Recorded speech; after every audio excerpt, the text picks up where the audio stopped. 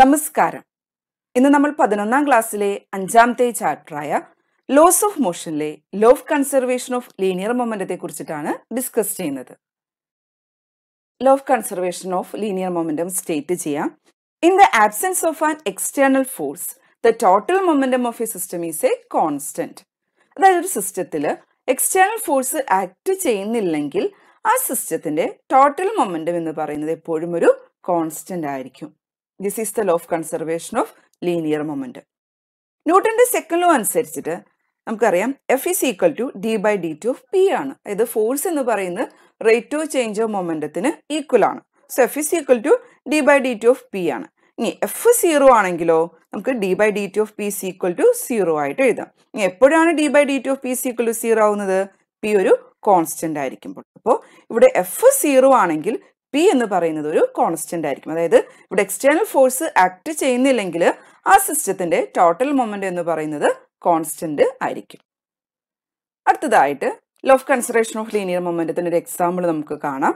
ഇവിടെ നമ്മൾ ഉപയോഗിച്ചിരിക്കുന്നത് വയറിംഗ് ചാനലും പിന്നെ ഗ്ലാസ് ബോൾസും ആണ്.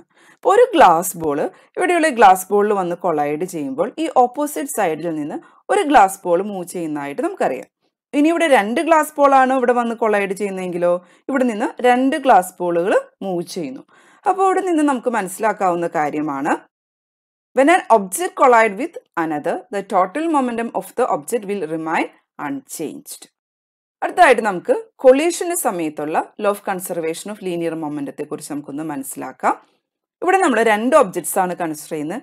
എ എന്ന് പറയുന്നതും ബി എന്ന് പറയുന്ന ഒബ്ജക്റ്റ് എ എ എന്ന് പറയുന്ന ഒബ്ജക്റ്റിന്റെ മാസ് എം വണ്ണും അതിന്റെ ഇനീഷ്യൽ വെലോസിറ്റി യു വണ്ണുമാണ് ബി എന്ന് പറയുന്ന ഒബ്ജക്റ്റിന്റെ മാസ് എം ടു ആണ്. അതിന്റെ ഇനീഷ്യൽ വെലോസിറ്റി എന്ന് പറയുന്നത് യു ടു ആണ്. ഇനി രണ്ട് ഒബ്ജക്ട്സും കൊളൈഡ് ചെയ്യുന്നു. ഇനി കൊളീഷന് ശേഷം എ എന്ന് പറയുന്ന ഒബ്ജക്റ്റിന്റെ വെലോസിറ്റി വി വൺ ആകുന്നു ബി എന്ന ഒബ്ജക്റ്റിന്റെ വെലോസിറ്റി വി ടു ആയിട്ട് മാറുന്നു. ഇവിടെ നമുക്ക് ടോട്ടൽ മൊമെന്റം ബിഫോർ കൊളീഷൻ എന്ന് പറയും. നമുക്കറിയാം മൊമെന്റം എന്ന് പറയുന്നത് മാസിന്റെ വെലോസിറ്റി ആണല്ലോ. അപ്പൊ എയുടെ മൊമെന്റ് എന്ന് പറയുന്നത് എം വൺ യു വണ്ണും ഇവിടെ ബിയുടെ മൊമെന്റ് എന്ന് പറയുന്നത് എം ടുവും യു ടു ആണ്. അപ്പോൾ before collision total momentum of the system എന്ന് പറയുന്നത് M one U one plus M two U two ആണ്. ഇനി ആഫ്റ്റർ കൊളീഷൻ എന്തായിരിക്കും? The after collision the total momentum of the system എന്ന് പറയുന്നത് M one V one plus M two V two ആയിരിക്കും. നമുക്ക് ആദ്യം എ എന്ന് പറയുന്ന ഒബ്ജക്റ്റിന്റെ മൊമെന്റത്തെ കുറിച്ചൊന്ന് മനസ്സിലാക്കാം. ഇപ്പൊ എയുടെ മൊമെന്റ് എന്ന് പറയുന്നത് എം വൺ യു വൺ ആണെന്ന് നമുക്കറിയാം. ഫൈനൽ മൊമെന്റം എന്ന് പറയുന്നത് എം വൺ വി വണ്ണുമാണ് ഇനി എന്താണ് ഇവിടെ ചേഞ്ച് ഇൻ മൊമെന്റം എന്ന് പറഞ്ഞു കഴിഞ്ഞാൽ? ഇപ്പൊ ചേഞ്ച് ഇൻ മൊമെന്റം എന്ന് പറഞ്ഞാൽ final momentum minus initial momentum ആണ് അല്ലെ? അപ്പൊ ഫൈനൽ മൊമെന്റ് എന്ന് പറയുന്നത് M one V one initial moment എന്ന് പറയുന്നതോ? എം വൺ യു വൺ അപ്പൊ ചേഞ്ച് ഇൻ മൊമെന്റ് എന്ന് പറയുന്നത് M one V one minus M one U one ആണ്. ഇനി എന്താണ് rate of change of moment എന്ന് പറയുന്നത്? Change in momentum divided by ടൈമിനെയാണ് നമ്മൾ rate of change of momentum എന്ന് പറയുന്നത്. അപ്പോൾ ഇവിടെ നമുക്ക് rate of change of momentum is equal to M one V one minus M one U one divided by T ആയിട്ട് എഴുതാം. ഇനി ഇതുപോലെ തന്നെ ബി എന്ന് പറയുന്ന ഒബ്ജക്റ്റിന് നമ്മൾ കൺസിഡർ ചെയ്യാണ്. ഇപ്പൊ ബി എന്ന് പറയുന്ന ഒബ്ജക്റ്റിന്റെ ഇനീഷ്യൽ മൊമെന്റ് എന്ന് പറയുന്നത് എം ടു യു ടു ആണ് നമുക്ക്. മൊമെന്റ് എന്ന് പറയുന്നത് മാസ് ഇന്റു വെലോസിറ്റി അപ്പോൾ ഇവിടെ എം ടു യു ടു ഇനി എന്താണ് ഇതിന്റെ final momentum that is equal to M two V two ഇനി എന്താണ് change in momentum final momentum minus initial momentum അതായത് M two V two minus M two U two വീണ്ടും നമുക്ക് rate of change of momentum കണ്ടുപിടിക്കണം. എന്താണ് rate of change of momentum എന്ന് പറയുന്നത്? Change in momentum divided by time ആണ് അല്ലെ? അപ്പൊ M two V two minus M two U two divided by T ആയിട്ട് നമുക്ക് എഴുതാം. ഇനി ഇവിടെ എയും ബിയും ഇനി കൊളൈഡ് ചെയ്യാണ്. അപ്പൊ ന്യൂട്ടന്റെ തേർഡ് ലോ അനുസരിച്ച് നമുക്ക് പറയാം. F A B is equal to എന്താണ്? മൈനസ് ഓഫ് എഫ് ബി ആണ് അല്ലെ? For every action there is equal and opposite reaction ആണ്. അപ്പൊ force acting on A by B is equal to minus of force acting on B by A ആണ്. അപ്പൊ എന്താണ് F A B എന്ന് പറഞ്ഞാൽ? നമുക്കറിയാം ന്യൂട്ടന്റെ സെക്കൻഡ് ലോ അനുസരിച്ചിട്ട് എഫ് എന്ന് പറയുന്നത് റേറ്റ് ഓഫ് ചേഞ്ച് ഓഫ് മൊമെന്റത്തിന് ഈക്വൽ ആണെന്ന് നമുക്ക് അറിയാവുന്ന കാര്യമാണ്. Therefore F A B is equal to M one V one minus M one U one divide by T ആയിട്ട് എഴുതാം. ഇനി അതുപോലെ എഫ് ബി എ എന്ന് പറയുന്നതോ? M two V two minus M two U two divided by T ആണ്.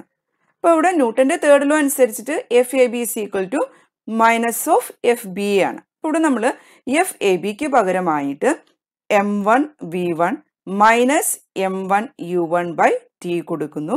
Equal to minus of F B എക്ക് പകരമായിട്ട് നമുക്ക് M two V two minus M two U two divided by T ആയിട്ട് എഴുതാം.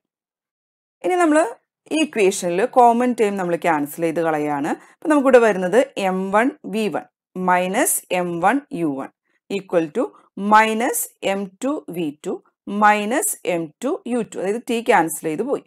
ഇനി ഇവിടെ നമ്മൾ ഒന്ന് റീഅറേഞ്ച് ചെയ്യാണ്. ഇപ്പോൾ റൈറ്റ് സൈഡ് ഒന്ന് റീഅറേഞ്ച് ചെയ്യുമ്പോൾ നമുക്കിവിടെ മൈനസ് ഇത് ബ്രാക്കറ്റ് ആണ്. അപ്പോൾ ഇവിടെ minus M two V two ഇനി ഇവിടെ മൈനസും ഇവിടെ മൈനസും അവിടെ നമുക്കിത് പ്ലസ് ആയി കിട്ടുന്നു. അപ്പോൾ plus M two U two ആയിട്ട് എഴുതാം. ഇത് M one V one one U one equal to minus M two V two plus M two U two ഇനി നമ്മളൊന്ന് റീഅറേഞ്ച് ചെയ്യാണ് ഇക്വേഷൻ ഒന്ന് റീഅറേഞ്ച് ചെയ്യാണ്.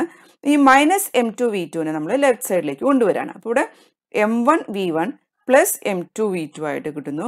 നമ്മൾ ഈ ഇക്വേഷൻ ഒന്ന് റീഅറേഞ്ച് ചെയ്തിട്ട് നമുക്ക് ഇങ്ങനെ എഴുതാം. M one V one plus M two V two equal to M one U one plus M two U two ഇവിടെ ടോട്ടൽ മൊമെന്റം ബിഫോർ കൊളീഷൻ എന്ന് പറയുന്നത് എന്താണ്? M one U one plus M two U two ആണല്ലോ M one U one plus M two U two ആണ്. Total momentum after collision എന്ന് പറയുന്നതോ M one V one plus M two V two ആണ്. അപ്പോൾ ഈ ഇക്വേഷനിൽ നമുക്ക് മനസ്സിലാക്കാവുന്ന കാര്യം എന്താണ്? The total momentum before collision is equal to the total momentum after collision അടുത്തതായിട്ട് നമുക്ക് ലോ ഓഫ് കൺസർവേഷനോ ലീനിയർ മൊമെന്റത്തിന്റെ ഒരു എക്സാമ്പിൾ ആയ റീകോയിൽ വെലോസിറ്റി ഓഫ് ഗണ്ണിനെ കുറിച്ചിട്ട് നമുക്ക് മനസ്സിലാക്കാം. അപ്പൊ law of conservation of linear momentum അനുസരിച്ചിട്ട് ഒരു സിസ്റ്റത്തിൽ എക്സ്റ്റേണൽ ഫോഴ്സ് ആക്ട് ചെയ്യുന്നില്ലെങ്കിൽ ആ സിസ്റ്റത്തിന്റെ ടോട്ടൽ മൊമെന്റം എപ്പോഴും കോൺസ്റ്റന്റ് ആയിരിക്കും. ഇനി ഇവിടെ നമ്മൾ കൺസിഡർ ചെയ്യുന്നത് ഒരു ബുള്ളറ്റും ഗണ്ണും ഉൾപ്പെടുന്ന ഒരു സിസ്റ്റത്തെ അപ്പൊ ബിഫോർ ഫയറിംഗ് ആണെങ്കിൽ നമുക്കറിയാം ഈ ബുള്ളറ്റും ഗണ്ണും റെസ്റ്റിലാണ് അതുകൊണ്ട് അതിന്റെ ടോട്ടൽ മൊമെന്റം എന്ന് പറയുന്നത് എത്രയായിരിക്കും? സീറോ ആയിരിക്കും. കാരണം റെസ്റ്റിലാണ് വെലോസിറ്റി സീറോ ആണ് മൊമെന്റം അതുകൊണ്ട് സീറോ ആയിരിക്കും. ഇനി ആഫ്റ്റർ ഫയറിങ്ങോ ഈ ബുള്ളറ്റിന്റെ മാസ് എന്ന് പറയുന്നത് സ്മോൾ എം ആയിട്ട് എടുക്കുക. അതിന്റെ വെലോസിറ്റി സ്മോൾ വി ആയിട്ട് നമ്മൾ കൺസിഡർ ചെയ്യുക. ഇനി ഗണ്ണിന്റെ മാസ് എന്ന് പറയുന്നത് ക്യാപിറ്റൽ എം ആണ്. ഇനി അതിന്റെ വെലോസിറ്റി എന്ന് പറയുന്നത് ക്യാപിറ്റൽ വി ആണ്. അപ്പോൾ ടോട്ടൽ മൊമെന്റം ആഫ്റ്റർ ഫയറിംഗ് എന്ന് പറയുന്നത് M V plus small M V ആയിട്ട് നമുക്ക് എഴുതാം.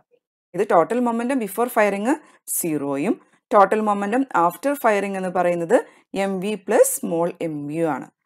അപ്പോൾ ഇവിടെ നമുക്ക് law of conservation of linear momentum അനുസരിച്ചിട്ട് the total momentum of the gun and bullet before firing and their total momentum after firing will be equal അപ്പോൾ ഇവിടെ law of conservation of linear momentum അനുസരിച്ച് zero equal to M V plus small M V ആയിട്ട് എഴുതാം.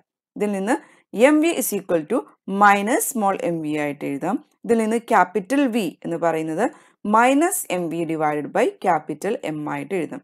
ഇവിടെ ഈ വീനെയാണ് നമ്മൾ ഇത് ഈ ഗണ്ണിന്റെ വെലോസിറ്റി അത് ബാക്ക്വേർഡ് ഡയറക്ഷനിലായിരിക്കും അത് മൂവ് ചെയ്യുക. അപ്പോൾ ഈ വെലോസിറ്റീനെയാണ് നമ്മൾ റീകോയിൽ വെലോസിറ്റി എന്ന് വിളിക്കുന്നത്. അപ്പോൾ recoil velocity of the gun എന്ന് പറയുന്നത് minus small M V divided by capital M ആണ്.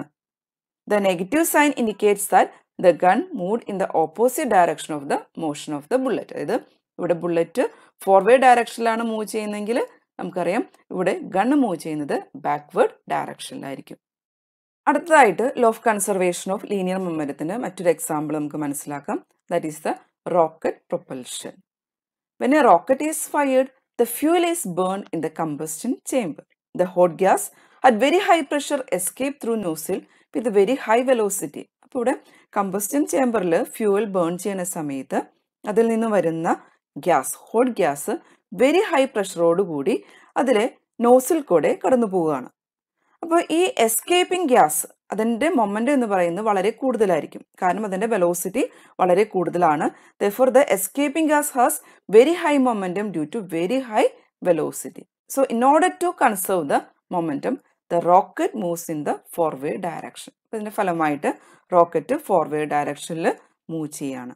The velocity of the rocket is given by v equal to u log e m divided by m where u is the exhaust velocity, m0 is the initial mass of the rocket with the fuel and m the final mass after the fuel has burned. ഞങ്ങളുടെ channel subscribe ചെയ്യുക അതോടൊപ്പം അടുത്തുള്ള bell icon enable ചെയ്യാനും മറക്കരുത്